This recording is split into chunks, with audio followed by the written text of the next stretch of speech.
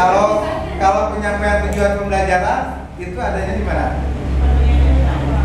Di pendahuluan. Nah, ketika Bapak Ibu akan menggunakan model pembelajaran, si persiapan pengelompokan ini adanya di mana? Pengelompokan kelas ini. Di pendahuluan sebelum mulai belajar.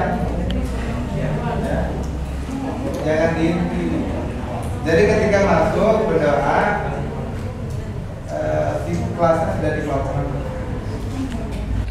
Atau minggu minggu ketika kita akan menggunakan problem desk mulai pembelajaran baru di minggu kemarin di akhir pelajaran setelah refleksi itu disampaikan untuk minggu depan eh, sudah dibentuk kelompok ketika bapak ibu masuk ya ketika bapak masuk nah eh, kalian sudah duduk dalam kelompoknya?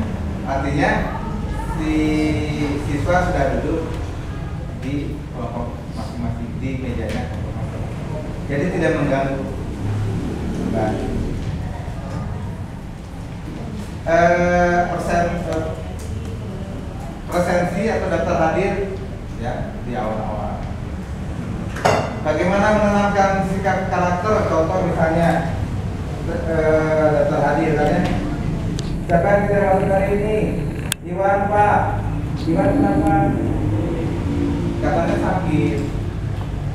Cari tahu sakitnya apa nanti pulang sekolah KM tolong ke rumahnya. Tolong jenguk ya. Atau pas tahu dikabari bahwa Iwan sakit itu ya kalian kita berdoa karena untuk kesembuhan Iwan. Nah itu guru seperti itu. Menemukan karakter ya. Sikap-sikap spiritual di kurikulum 13 ada perubahan yang baru yang pertama tadi di RPP asalnya materi pokok tidak ada jadi ada. Tujuan pembelajaran tidak ada jadi ada.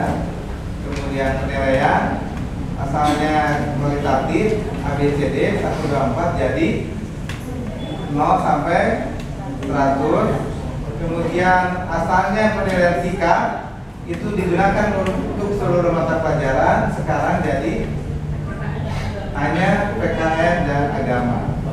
Yang lainnya apa? Menggunakan jurnal. Jurnal pembelajaran.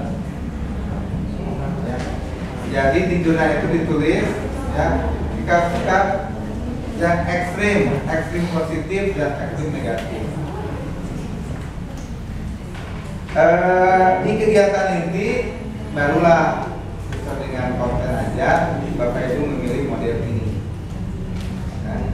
silakan Pak Hamis akan pelajari. Contohnya ada. Ya. buat satu pertemuan saja. Kemudian eh, di penilaian silakan. Misalnya penilaiannya baca. Ibu sudah paham.